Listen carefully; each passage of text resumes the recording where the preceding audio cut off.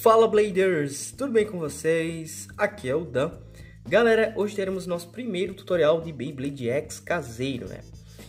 E galera, hoje vamos fazer o Drum Sword caseiro, né? na sua versão caseira, na verdade. E apenas a Blade, apenas é a Blade Drum Sword, nada de Ratchet, nada de Beat nesse vídeo aqui, beleza? Então o foco nessa nova geração, quando for fazer os vídeos, será em separado, porque fica assim até mais fácil, né? Por exemplo, vai ter muitos bays ainda que vão ter, por exemplo, a mesma ponta, o mesmo ratchet, então isso vai engolir tempo no, no vídeo, né? Pois eu vou estar fazendo muitas vezes um bay completo, mas com o mesmo ratchet que o outro que eu já tinha feito. Então os ratchets serão feitos em separado, assim como as beats também serão feitas em separados, assim como, os, a, como as blades também serão feitas de forma separada, até porque consigo trabalhar em uma peça só, dá mais... Uh, dá mais foco nessa peça, dá para trabalhar melhor, explicar melhor. Então, eu acho que fica bem legal, ficará bem legal, na verdade, é, eu fazendo desta maneira. Né? Então, por exemplo, vai ter uma bit de ataque, a bit flat, né? O usa, vai vir outro B que usa a mesma bit, não faz sentido fazer os dois tutoriais desses Bs, vamos dizer, de forma completa, para fazer as mesmas para fazer praticamente as mesmas peças. Então, fazer de forma separada então fica mais simples, sempre vou deixar nos cards, quando são peças que fazem é, parte do combo do, da Blade, no caso, ali, ali né, para vocês é, poderem clicar e assistirem também, né. Claro que vai ter alguns vídeos que serão especiais que eu vou fazer completo, né, peças únicas ali que eu vou fazer o bem completo, Ratchet, Beat, tudo num vídeo só, mas assim eu consigo, eu consigo economizar muito tempo também e dá para trabalhar de uma forma bem mais tranquila é, no vídeo, beleza? Mas vamos lá. Como é um é o Dransword, eu fiz aqui o, a arte dele, só que ele está no Recolor, né? Já fiz um, um, um review do Dransword caseiro, olha só. Recolor preto com rosa, muito bonito. Uh, não quis fazer com a mesma cor para não ficar com dois Dransword com a mesma cor, né? Então temos aqui a arte do Dransword, temos aqui também quatro camadas de papelão, que no caso será a da Blade do Dransword indico vocês fazerem quatro, no mínimo, obviamente, três camadas aqui com é, para fazer a blade dele. Olha só, uma tampinha de refrigerante, fazer parte da também do bem, obviamente, né? Um lacre de garrafa apenas, um lacrezinho para dar um acabamento na lateral, vocês vão verem, e um pedaço de papelão que é para fazer a travinha de dentro do da Blade e também para fa fazer uma, um volumezinho aqui nessa região que ajuda a encaixar o lançador, beleza? Então, apenas essas, esses materiais. Claro que eu também vou utilizar a massinha Durepox como material, é importante também dizer isso, né? Já que os Base é, são de metal, eu simulo com a massa do Durepox uh, esse metal que não tem na versão caseira, né? Então, esses são todos os materiais e chega de papo, vamos lá! Primeira etapa, vamos trabalhar no papelão, né? Vou retirar essas outras partes que são como fosse, onde que fica o apoio, né? É, da arte, da, da tampinha de refrigerante. Eu faço isso em três das quatro partes, porque fica melhor de trabalhar, né? Como vocês podem ver. E agora é colar as camadas, né? É, já para a gente depois começar a colocar a massa do epox.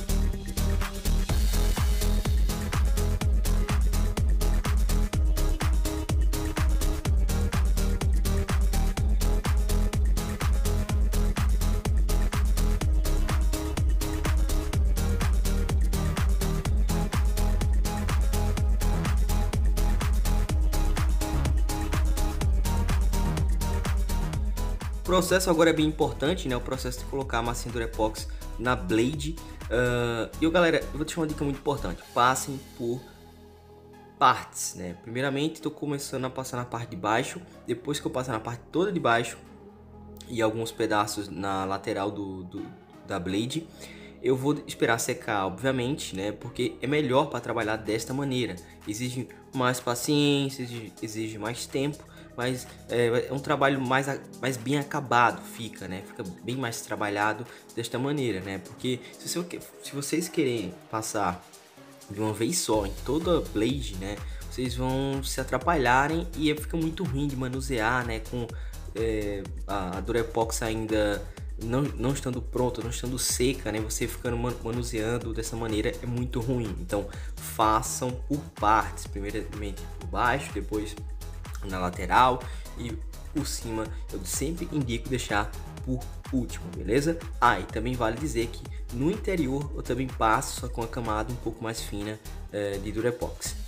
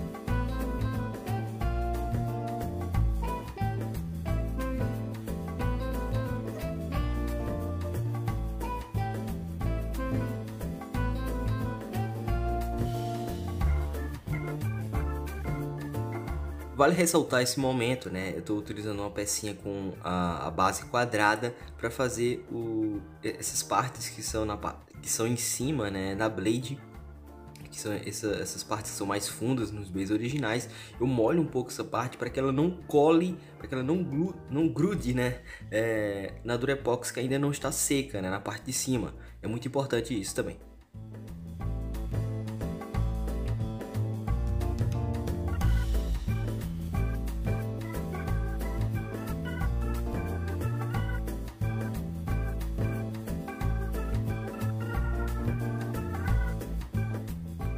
Depois de ter lixado a peça, uh, que é muito importante, né? Pois a gente fazendo essa, esse processo de lixar a, a blade, a gente consegue tirar o excesso onde que tem muito, onde que ficou muita massinha do epox, né?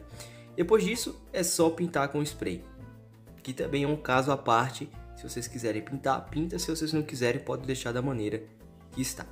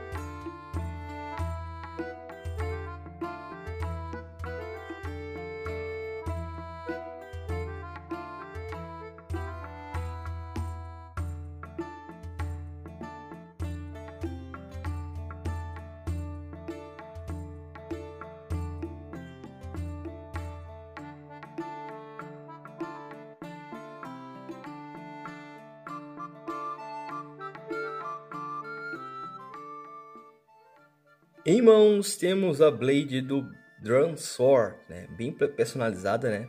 É, o tutorial foi um pouco longo, não sei como, como ficou na edição, mas acho com certeza ficou acima dos 10 minutos. Uh, e só foi a Blade, galera. Né? Só foi a Blade, por isso que eu falei, mesmo a, a Beat sendo uma peça simples, e mesmo o Ratchet também ser ainda mais simples para fazer, é melhor fazer em, em, vídeos separados, né? Dando mais, tendo, tendo mais destaques para essas próprias peças, né? Então, como disse, os tutoriais de X serão assim em separados cada peça, porque fica mais fácil de entender é, e a peça tem um foco maior. É um recolor, né? Tem aqui a, a versão original, a versão original na cor original, uh, mas é um recolor bem legal. Lembrando que eu fiz uma arte principal e usei a, a principal como decal para decalcar, né? O, essas outras duas aqui. É, e, e, e, mais ainda, né? Se eu quiser fazer outro recolor do Dransword, né? A versão caseira. Essa versão aqui do tutorial, ela ficou mais compacta e alguns detalhes e ficou um pouco mais detalhado, principalmente no centro, né? Eu, eu tentei caprichar nisso, né? Até em, mas o tamanho são bem parecidos, mas ele é um pouco mais compacto do que a versão com as cores originais, beleza? Transword está aqui. Temos aqui a ponta que é a beat flat, ponta de ataque. E temos o Ratchet 360, uh, ok? 60 de altura, 3 porque ele tem esses três pontos aqui. Vamos montar o, o Bay, ok?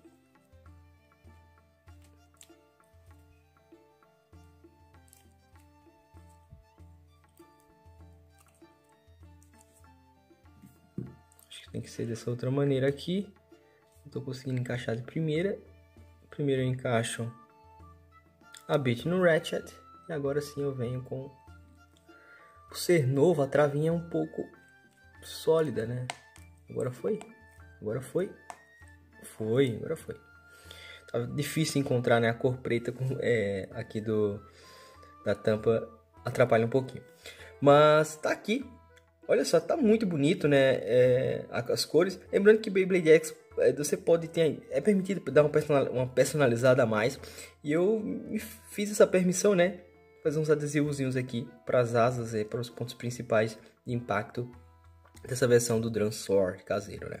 Dransword temos o Ratchet 360 e a ponta e a ponta é a flat beleza? Tutorial finalmente acabado né e agora obviamente né a gente vai ver esse cara na arena na batalha Vamos lá.